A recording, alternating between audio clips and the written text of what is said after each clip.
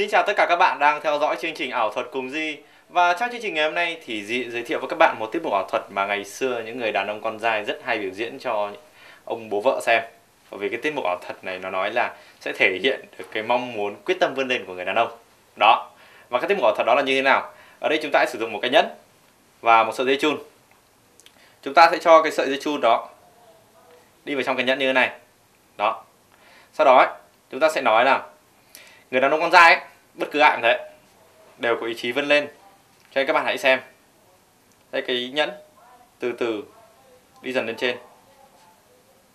Đó. Nó từ từ. Chạy dần lên trên.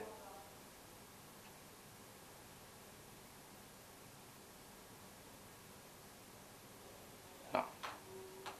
vậy thì bằng cách nào để thực hiện tiết mục ảo thuật này? Ngay sau đây thôi, chúng ta sẽ được giải đáp và bây giờ đến phần hướng dẫn của cái tiết mục ảo thuật này. Để thực hiện cái tiết mục ảo thuật này, chúng ta cần phải có một cái nhẫn và một sợi dây chun bất kỳ. Chúng ta hãy cắt cái sợi dây chun ra này, cho nó chỉ thành một cái sợi dây chun này thôi, chứ không phải là nó là một hình tròn. Ok. Sau chúng ta sẽ cho sợi dây chun này và cái nhẫn. Đó. Sau chúng ta sẽ lấy ra một cái đoạn dây thật là dài, như thế này. Và chúng ta giấu nó trong tay. Lúc giấu trong tay, chúng ta hãy kéo căng cái phần dây chun này ra. Các bạn hãy nhìn nhé. Hãy kéo căng ra này và cho giấu đi một cái phần ở trong tay. Đó, cái này thả ra được. Nhưng các bạn xem trong tay chúng ta giấu rất là nhiều dây chun. Và chúng ta anh gập ngón tay lại để che nó đi. Đó. Sau chúng ta sẽ từ từ ở ngón cái và ngón trỏ. Chúng ta sẽ nhẹ nhàng thả dần nó ra. Và các bạn có thể nhìn thấy được là cái nhẫn sẽ từ từ từ từ từ từ đi dần lên trên. Và các bạn không được thả các cái ngón tay ra đâu nhé bởi nếu các bạn thả ra, các bạn có thể nhìn thấy là cái sợi dây này càng lúc càng ngắn lại đấy. Và như thế này thì các bạn sẽ bị lộ cái tên mục. Ok, tôi nói lại một lần nữa này. Cho người ta xem này. Lấy phần nhiều nhiều này. Kéo căng ra. Cái tay này của chúng ta sẽ giữ cái phần dây chun.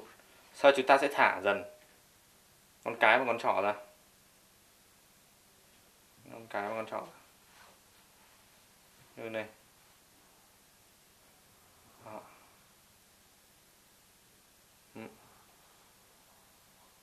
Đó, ok. Để thực hiện cái tiết mục ảo thuật này thì chúng ta có một cái lưu ý. Thứ nhất là tay của chúng ta phải khô. Bởi vì nếu như tay ướt quá thì rất là dễ bị trơn tuột. Trơn tuột thì là cái sợi dây chun có thể nó sẽ bị bắn văng ra là lúc đấy là cái nhẫn sẽ bị rơi và cái đó là rất là tối kỵ. Nên chúng ta hãy cố gắng. Tiết mục của chúng ta là đến đây là kết thúc. Cảm ơn các bạn. Trong chương trình ngày hôm nay, Di đã hướng dẫn cho các bạn một tiết mục ảo thuật sử dụng chiếc nhẫn và sợi dây chun này. Di hy vọng rằng các bạn có thể sử dụng nó và đi biểu diễn cho bạn bè và người thân của mình xem. Di chúc tất cả các bạn thành công và hẹn gặp lại các bạn trong chương trình lần sau. Chào các bạn.